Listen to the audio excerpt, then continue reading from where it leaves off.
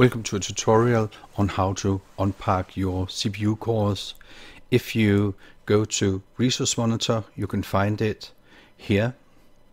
Open File Location and Open File Location in your C drive Windows System 32 Resource Monitor. You can pin it to your start as I have done and then you can open it from here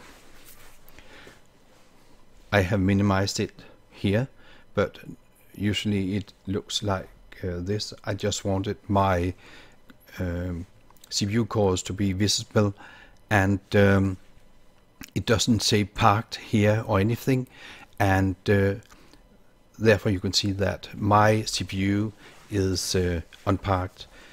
What do you do? First you go um, into the registry editor and you copy this line and uh, you can do it you can do it in different ways. You can right click choose run right reg edit for example. It will open it here registry editor and uh, you go to H key local machine and um, edit find and only tick keys, not values and not data.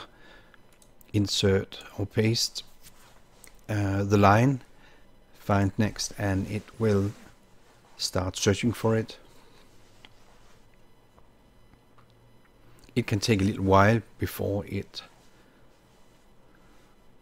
has finished it and uh, let's max out this.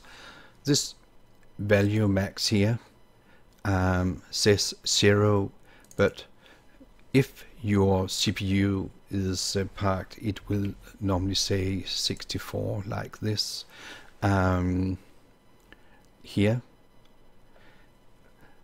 and you need to change it to zero like that, so it will be uh, zero here and zero there. Then your CPU is unparked. It will use your cores uh, more optimally for games. And you will of course pay a small amount more uh, for power but it's not very much. Yeah that's basically it. Bye bye